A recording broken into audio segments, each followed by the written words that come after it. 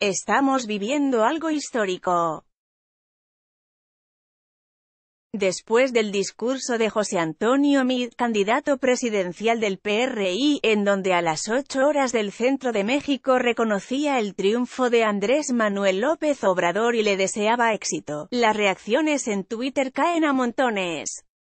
Y es que nadie se lo puede creer, los porcentajes de los primeros resultados arrojados esta noche nos muestran una diferencia más que considerable entre Anaya y Mid con AMLO.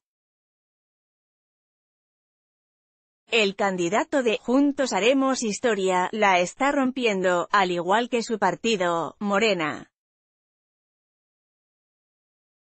¿Quieres ver lo que están diciendo en Twitter? Si no es suficiente lo que seguramente está pasando en tu propio timeline, aquí te va una muestra de las reacciones de los mexas que no se despegan del celular, y tú que estás tuiteando, estupefacción y asombro, las reacciones que más abundan en la red social.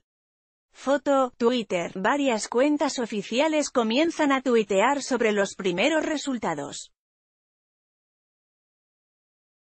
¿Qué estás tuiteando tú? Mándanos los tweets que te gusten y que te parecería que salieran en esta nota.